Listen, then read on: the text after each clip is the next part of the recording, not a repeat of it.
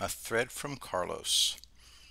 People talk about a secret Democratic plan to switch Biden out at the last second. There's no such plan. They're behind him 100%. Check out the trending hashtag Go Joe. Here's one. Seriously, the founding fathers, but all hashtag Go Joe. We're seeing the most frenzied meltdowns ever. Kurt Eichenwald blasts liar Tara Reade, rot in hell from Breitbart.com. Tim Pool said that supporters of Donald Trump don't care that Trump committed sexual assaults. No, I didn't believe the claims. They were absolutely outlandish. Trump is a famous germaphobe. Such a person doesn't do what the accusers claim. Gloria Allred and her daughter, Lisa Bloom, are leftist political activists. I once contacted both offices by mail, uh, by email as an experiment. I told them that I'd been sexually assaulted by a Democratic presidential candidate. Neither office responded. I looked into each accusation made against Trump. Keep in mind, there were never whispers swirling around Trump, just as there were never whispers surrounding Kavanaugh. I dismissed the accusations made against Trump because they were ridiculous.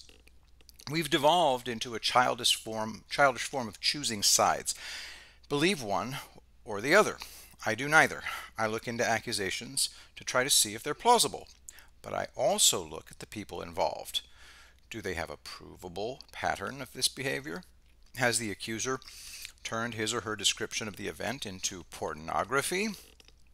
Plenty of people don't talk about their experiences because there's really nothing the listener can do. My brother and I talk about our experiences only to each other, nobody else. I've written a memoir because what happened to my brother and me isn't the main point. We were collateral damage.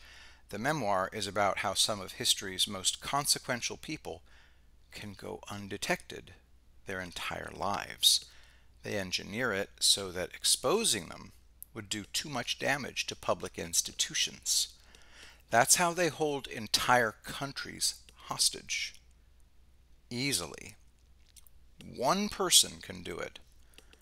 In order to convey the magnitude of all that, I had to describe the indescribable. I wanted to write a book that people will want to read more than once. Therefore, the descriptions are brisk and rapid, no wallowing. The book could have been pornography. Instead, I think I've created a new genre.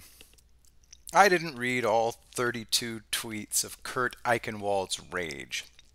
But I'll tell you this I don't believe him.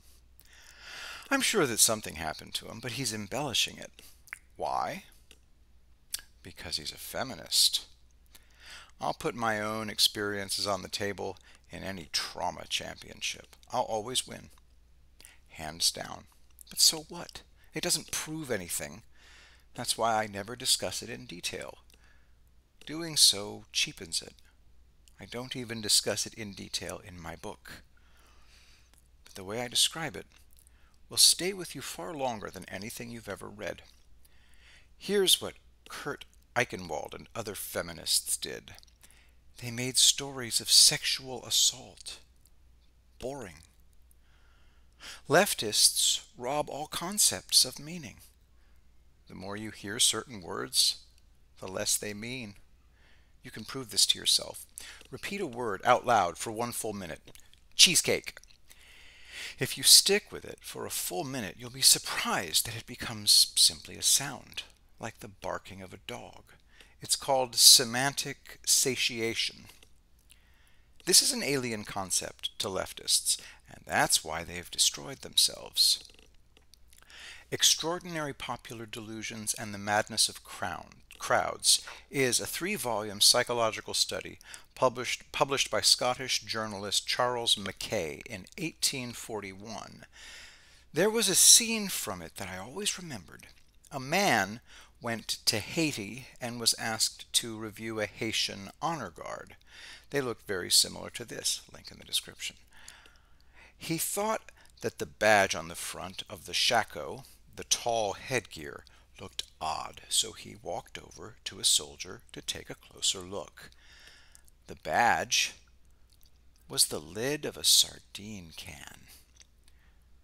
Joe, Joe Biden is a sardine can lid, and the Democrats see a beautiful badge. Remember, leftists believe in postmodernism and deconstruction.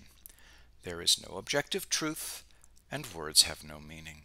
Truth and words are what you decide they are.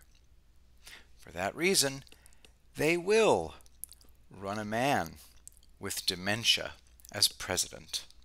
Donald Trump is firmly rooted in reality. Objective truth exists, and words have meaning. And most importantly, actions are all that matter. Trump landslide in November. Count on it.